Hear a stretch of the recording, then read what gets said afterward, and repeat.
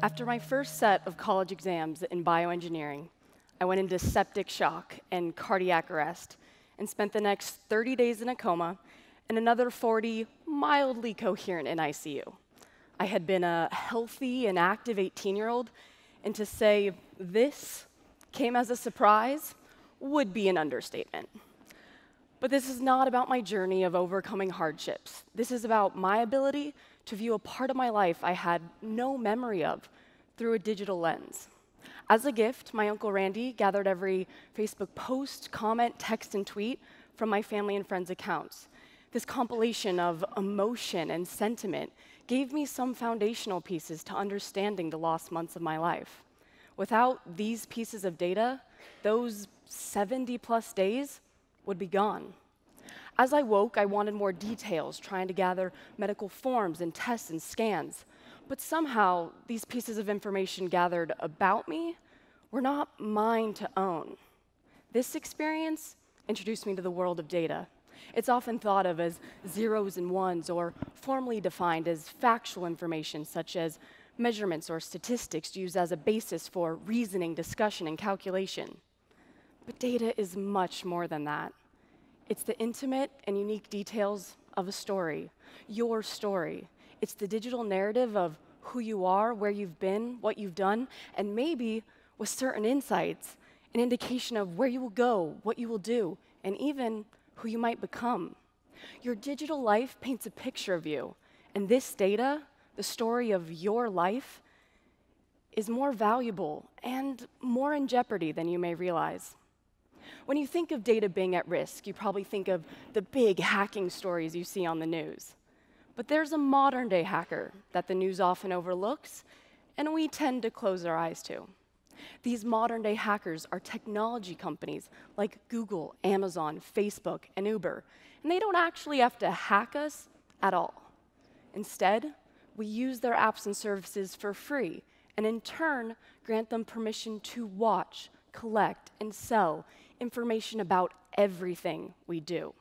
Technology companies may market themselves differently, but make no mistake, they are all data collection centers. They sell our activity to advertisers, hedge funds, market researchers, and governments, all without our knowledge or ability to do anything about it. Consider how many apps you have on your phone. If you're like me, you haven't paid to use a single one. Why do you think that is? If you are not paying for a product, you are the product. It doesn't feel like we're paying for these apps because we don't pay in money. We pay in data. And it's worth far more than any subscription fee you could pay. Let me give you an example.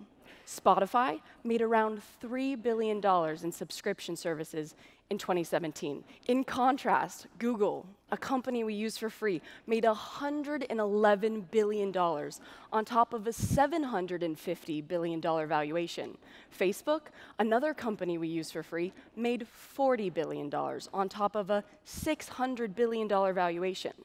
These high valuations exist because not only do they sell our data, but they also use this data to create artificial intelligence tools and virtual assistants, creating more and more revenue streams that you don't get a piece of. Sometimes, even when you do pay for a service, without regulations, they can still make money off of your personal data. How many of you own an Amazon Echo?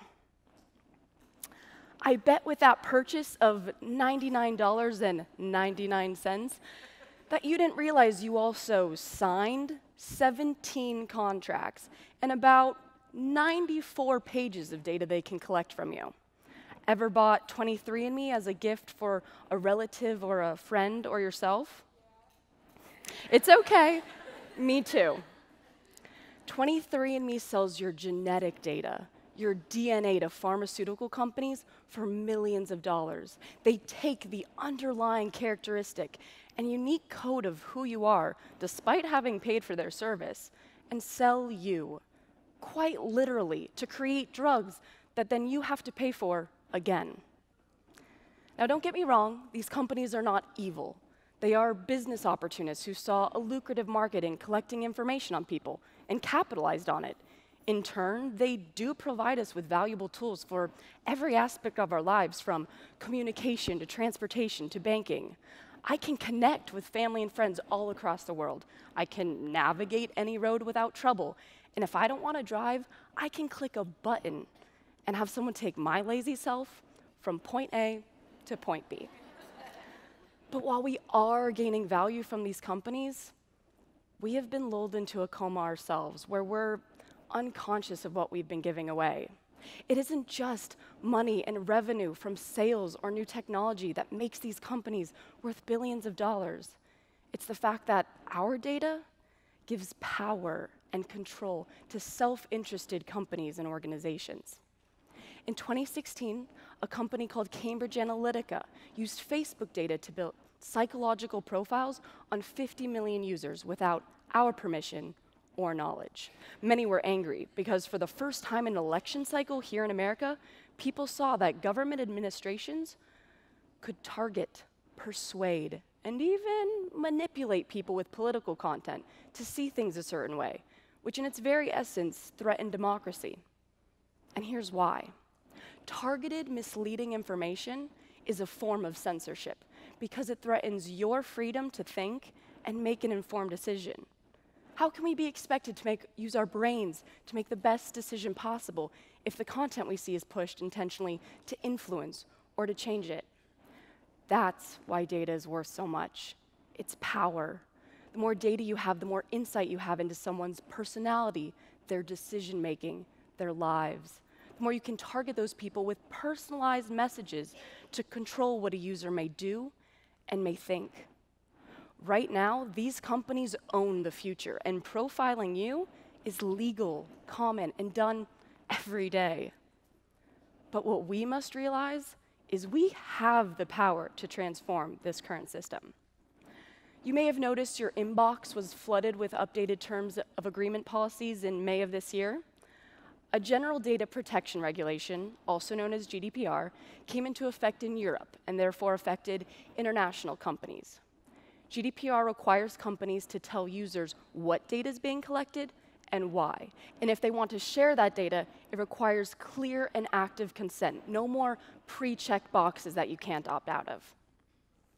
Most importantly, it gives you a right to a copy of the data they've collected on you and a right to tell the company they must delete the data they have on you moves towards regulations reveal hope that change can happen. Laws could give us an opportunity for a fresh start in a new system of our creation. You are the product.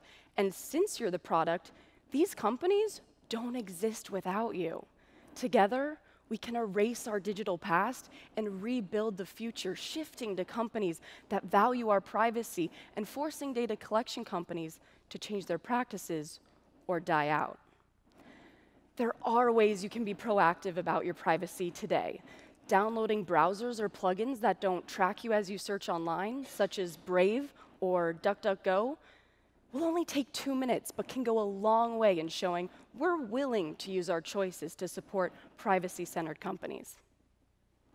Here's what our apps and services ecosystem could look like if we scratch the past and demand ownership over our digital future. One, you'll see more and more subscription and fee based models instead of free apps. Just like Netflix and Spotify, you pay a monthly or yearly fee, so companies have the capital they need to function and don't have to sell you. Or you pay a fee per transaction, just as some finance apps allow you to transfer money to friends, but charge you a fee or percentage to do so. Two, give and take platforms. New technology allows each of our devices to play a secure role in a decentralized ecosystem, allowing for a combination of different and kind of funky business models. For example, a company called Oyster is a two way model.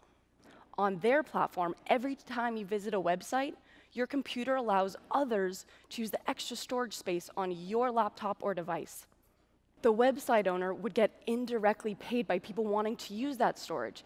And because the website's paid for, you can browse ad free and tracking free. Even further, because people are getting paid based on the duration of your stay on their site, they're incentivized to create credible, in depth content for engagement versus clickbait headlines for a moment of attention.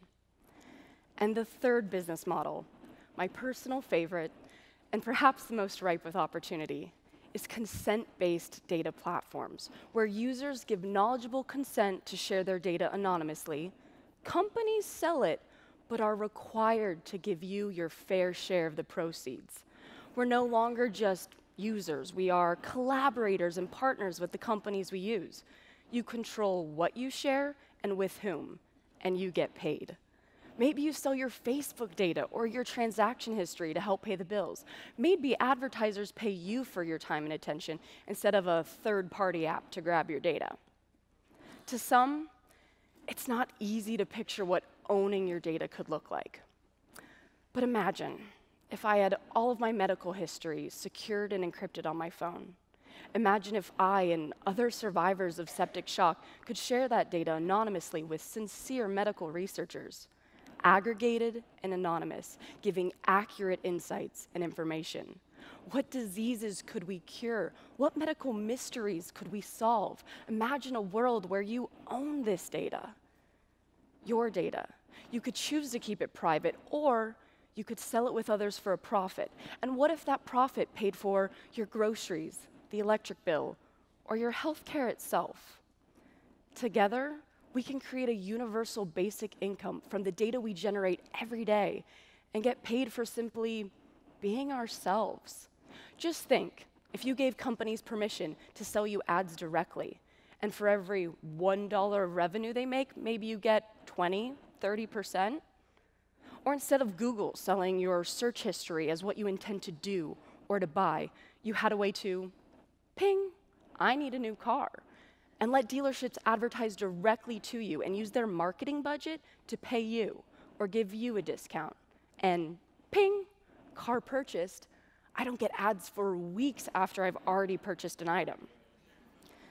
Transforming to this new system will take research and innovation, but instead of companies having power over you, it's time they realize the greater power for real change when working with you. We deserve to control our digital life and our physical future. We are the product. And now that we are aware, it's time we own it.